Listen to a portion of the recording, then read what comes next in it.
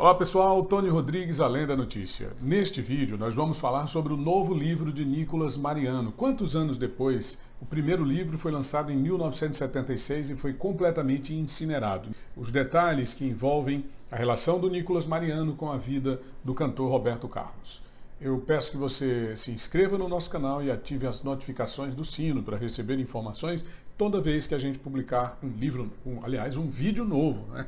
O livro novo, quem está publicando é o, é o Nicolas Mariano. Vamos ao vídeo. Bom, o Nicolas Mariano ele foi secretário particular e procurador uh, do rei Roberto Carlos durante nada menos que 12 anos, entre 1961, bem no comecinho da carreira do cantor Roberto Carlos, e 1973, ele dedicou praticamente todo o seu tempo dedicou praticamente toda a sua existência a servir o cantor, por quem tinha uma admiração acima do limite, acima do normal. Ele, inclusive, foi determinante para que o rei fizesse sucesso naqueles primeiros momentos nas rádios, ao estimular as fãs do Roberto Carlos para que escrevessem cartas às emissoras do Rio de Janeiro e de São Paulo pedindo músicas de Roberto Carlos. Somente depois de ser demitido das suas relações profissionais com o rei, e, logicamente, banido das relações pessoais, sem qualquer justificativa plausível, é que o Nicolas Mariano veio a conhecer a, a verdadeira face de Roberto Carlos. Quem era de verdade o Roberto Carlos com quem ele conviveu por 12 anos? Será que Roberto Carlos se transformou depois de ficar famoso? Bom, em 1976, o Nicolas Mariano escreveu é, uma, uma, uma, autobiografia. Era um livro onde ele contava a sua própria história e, claro, é, falava sobre a sua ligação com o Roberto Carlos. Ele contava detalhes dessa relação de trabalho e também de amizade, porque não era só trabalho, tinha também a questão da amizade, tinha também o fã e tinha o amparo que, que ele oferecia naqueles momentos de maior dificuldade, principalmente no início da carreira.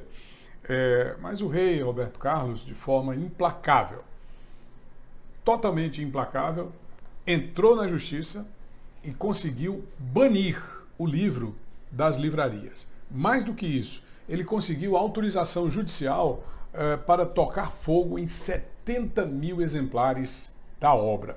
Esse fato nós tratamos com ele, é, sobre ele, com o jornalista e escritor Paulo César de Araújo, autor de várias biografias sobre o rei. Ele escreveu Roberto Carlos em Detalhes, depois escreveu uma autobiografia intitulada O Réu e o Rei, em que conta também dessa trajetória de perseguição do Roberto Carlos para com o seu livro, o Roberto Carlos em Detalhes, e agora ele está escrevendo um novo livro, eh, que deve ser lançado nos próximos meses, acho que até o final deste ano, que é Roberto Carlos Outra Vez. Na live que nós fizemos com o Paulo César, nós tratamos sobre o caso Nicolas Mariano. Veja, quando ele, quando ele processou o Nicolas, aquilo ali, pouca gente se importou no sentido, achava aquilo natural. Ah, é mesmo, né? ele publicou um livro, não estava autorizado, é isso mesmo. E é importante lembrar que Nicolas foi vítima de uma das maiores violências da história do, do, da indústria do livro no Brasil, porque o livro dele não foi só proibido, Tony. Os livros dele foram jogados, recolhidos e jogados no forno crematório da Prefeitura de São Paulo, né? Segundo disse o próprio advogado Saulo Ramos, no, na, na, sua autobiografia. Ele contou, ele tinha lá contatos com, com a Prefeitura de São Paulo, ele pediu lá os, os, fornos lá da Prefeitura de São Paulo, e os exemplares do livro do, do Nicolas foram cremados dentro desse, desse, desse forno lá da Prefeitura de São Paulo. É esse então, livro. É o Código da Vida. Esse livro aí, é, ele conta isso. Os livros do, do Nicolas né, o rei e eu foram queimados nesse forno crematório da Prefeitura de São Paulo, confessado aí pelo próprio advogado Saulo Ramos. Nessa situação, nós temos também o livro do Saulo Ramos, né, que é nessa direção, tratando sobre esse assunto e mostrando uh, o absurdo que foi a ação judicial impetrada pelo Roberto Carlos com o ganho de causa para queimar os livros, para incinerar os livros. O Saulo Ramos, no seu livro Código da Vida, que é esse livro aqui, mais especificamente a partir da página 57 e no capítulo 23, quero mostrar aqui para você, tá bom? Ele fala sobre o Nicolas Mariano, sobre o livro, né? Esse livro que era O Rei e Eu. Lembrei-me ainda de outro caso, referente a um livro escrito pelo ex-mordomo do cantor Roberto Carlos. no qual eram narradas intimidades da vida do artista deslavadamente mentirosas. Isso é o que ele diz como advogado, evidentemente, e ali eu, eu, não vi absolutamente nenhuma intimidade, eu que li o livro inteiro, nada que denegrisse a imagem do rei Roberto Carlos. Eu acho que denigre quando você chama o Nicolas Mariano de mordomo.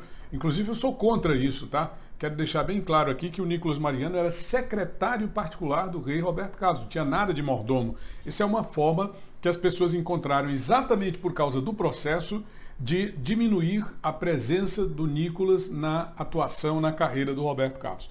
Feriram fundo o sentimento do cantor, continua aqui o Saulo Ramos. O título do livro era O Rei e Eu, dessa vez para impedir a lesão, usamos o direito processual civil em ação de abstenção da prática de ato cumulada com pedido de destruição do livro.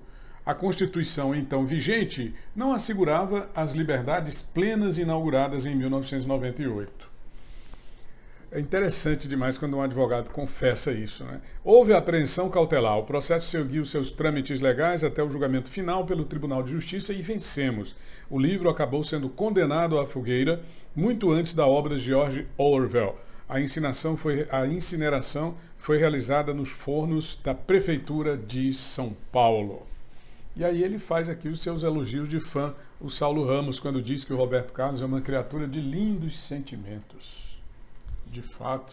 Então você vê várias revistas publicar coisa e outra, ele olha assim, ok, isso eu deixo. Mas isso aqui eu não vou deixar. Então ele processou. Por isso que eu falo, não foi algo pessoal, nem contra mim, nem contra o Nicolas Mariano. É uma visão que ele tem e essa visão foi aplicada em determinados momentos contra o meu livro, em 2006, contra Notícias Populares, em 92, contra o Nicolas Mariano, ali em 79, 80, e contra Rui Castro também. Rui Castro foi condenado lá num processo que Roberto moveu contra ele por causa de uma matéria na revista Status, que o Rui Castro, na época, era jornalista, repórter dessa revista. Foram processados o editor da revista e Rui Castro.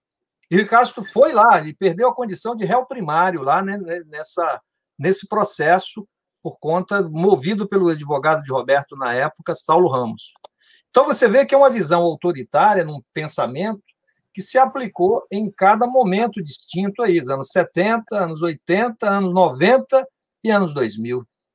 Só que quando chegou nos anos 2000, Roberto Carlos foi surpreendido. Por quê? Porque a sociedade ele não mudou a forma de pensar, mas a sociedade foi em transformação, foi mudando. Bom, mas hoje, voltando aqui, não é um livro do Nicolas Mariano, hoje o Nicolas resolveu escrever um, um novo livro sobre o assunto e antes de, do lançamento, esse novo livro que ele intitulou, acho que é um título provisório, Esse Cara Fui Eu, baseado numa música, Esse Cara Sou Eu, que é do Roberto Carlos, e o livro já ganha repercussão, já vi matérias nos jornais, Jornal Extra do Rio de Janeiro, vi matéria em emissoras de televisão, vi matérias em lives de YouTube. E nós conhecemos o Nicolas Mariano há um ano, mais ou menos, através do também escritor Paulo César de Araújo. De lá para cá, nós temos conversado bastante, trocado mensagens de WhatsApp, temos falado ao celular com muita frequência. Recentemente o Mariano ele nos disponibilizou um pequeno trecho do novo livro com um pedido de reserva sobre a divulgação. É claro que eu não vou divulgar o trecho do livro, é, até porque isso é, é, é exclusividade. Mas eu posso colocar aqui a, a, fala do próprio Nicolas, em que ele nos transmite essa, essa informação. Segredo de sete chaves, tá? Guarda com você. Confio em você, estou tranquilo. Só quero sua opinião. A sua opinião me é muito importante. O material está sendo escrito com muito profissionalismo, pelo que eu vi nessas páginas que ele me enviou. Parágrafos bem cuidados, com uma revisão apurada e informações valiosas, sem qualquer exagero. Então esse é o nosso vídeo de hoje. Deixe seu gostei, se inscreve no canal, ative as notificações e vamos adiante. Tony Rodrigues, Além da Notícia.